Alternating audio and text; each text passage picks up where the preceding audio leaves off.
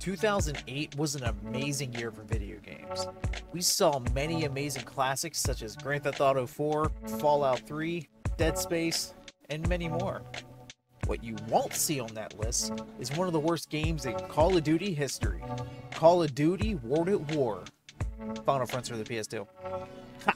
Get clickbaited. There wasn't a COD game for the PS2 when COD 4 released. Could you imagine all ghillied up on a PS2?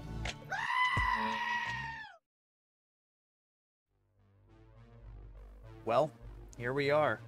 Looks promising, huh? I always knew Sarge was empty-headed. At least the Garand won't let me reload till it's empty. And then I drown in two inches of water. Hey, Fletch, I think this one's drowning. Grab him!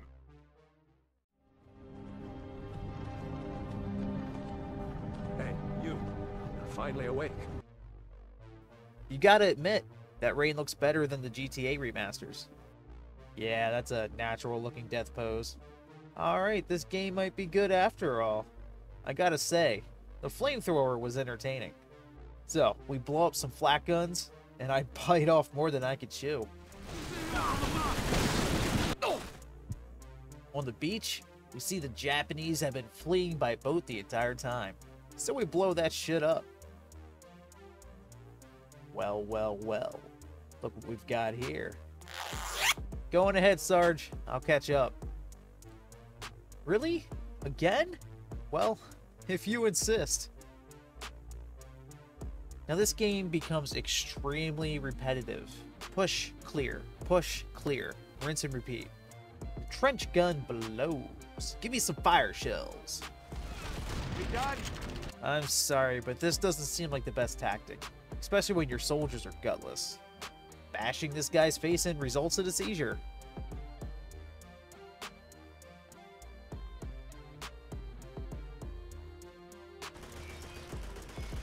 Just run right in front of me while I'm shooting, Sarge. Brilliant idea.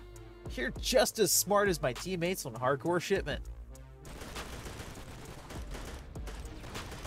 Carter! Where's that damn air support? What? The fourth mission attempts to change things up. We're pushing and clearing. At night, Alright, that's a bit overkill. Assume the position!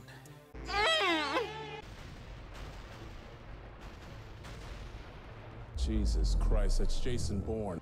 Up to this point, the game had been fairly easy. But holy shit, this section took a turn. I can't even begin to explain how frustrating this part was.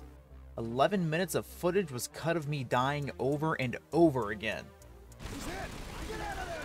Wow, amazing fire effects, 10 out of 10. Clear the entrance. Double grenade should finish him. Alright, I take back what I said about the trench gun. It's solid. Nerf it, please. I was a Virginia miner before the war started. You hear that? He was a miner. Let's hope Kevin Spacey doesn't find out. Every single gun in this game is a laser beam. Zero recoil. Too bad there was no multiplayer. Imagine a COD where every weapon was an OP laser. I can hear the tears hitting the floor now. And as always, the MP40 reigns supreme. The clock actually ticks. I'll give points for attention to detail. This dude just sits here kicking this door. For real, how do I get that job?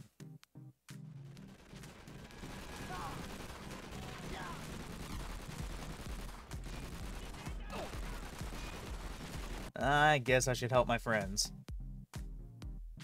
Shoot a barrel, receive wine.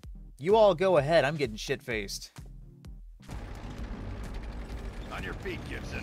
You're not done yet. Thanks, Tank Dempsey. I knew I could rely on you. Oh boy, a tank mission! Thankfully, I'm not driving, just shooting. The problem being, I have no idea what I'm shooting at. Are those friendly? Are those enemies? I don't know. Either way, they die. Who wants hamburgers?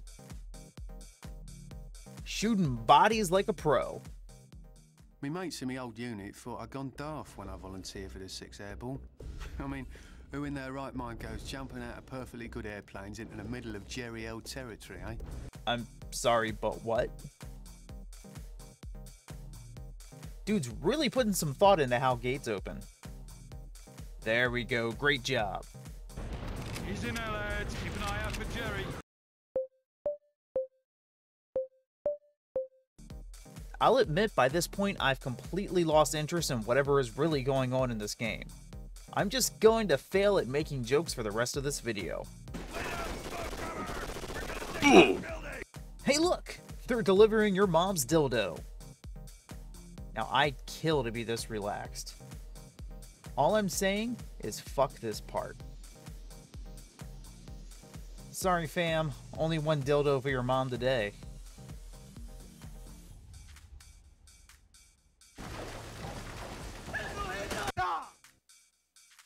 I'm sorry, but what? Looks like we're going right down their damn throats, Marine.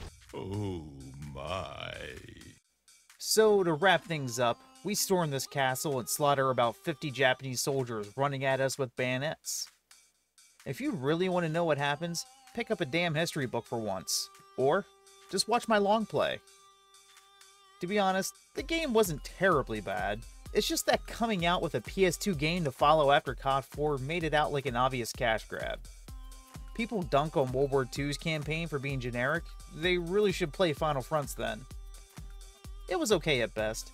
It had a boring story that I lost interest in very quickly, but at least the visual bugs kept me laughing. I give it two and a quarter pies out of five. Special shout out to channel member Anna Root Sniper.